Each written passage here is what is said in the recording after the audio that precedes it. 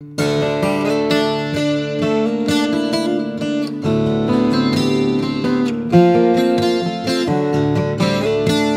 good morning and welcome back. We're in the book of Exodus. We're in chapter 25. I've kind of been wanting to come to this spot here, the last 15 chapters of the book and uh, 16 chapters, because this is where we get into the sanctuary, the tabernacle, and very much neglected by most people. But we're going to read today just one verse.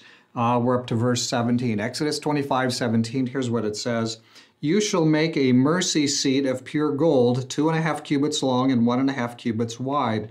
Now, this is the same measurement that the Ark of the Covenant has, and the Ark of the Covenant is more or less this box uh, without a top, and then this is going to be the part that goes on the top.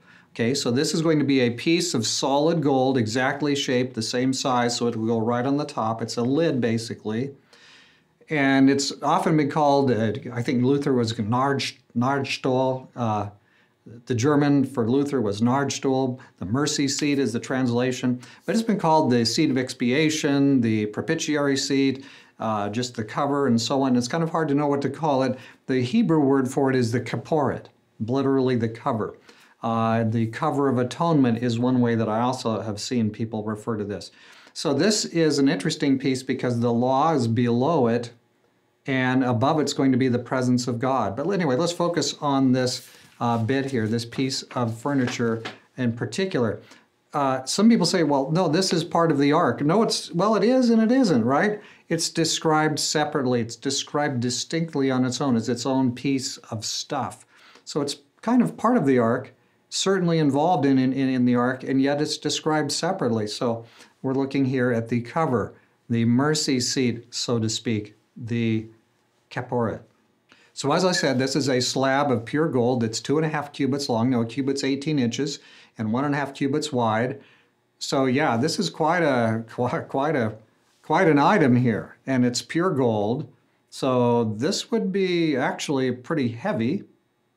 It's not just gold, uh, it's not just gold spread on top of a wood base. This is solid gold. I want to come also back to another comment from Sarna, page 161 of his commentary. The Kaporet was far more than a mere lid for the Ark. It was a distinct entity with its own identity and symbolism. The Ark and Kaporet are listed several times is two items in the various inventories of the contents of the tabernacle. The fact that the kaporet has its own instruction formula and its own and that its dimensions are separately measured reinforces this conclusion. So I probably didn't quote him exact here, but that you get the idea here. Uh, Sarna sees this and is pointing out that the cover, the lid, is is in essence something distinct in itself. Now, we're not done talking about the Kaporet because we're going to talk about the cherubim on it tomorrow morning. See you then.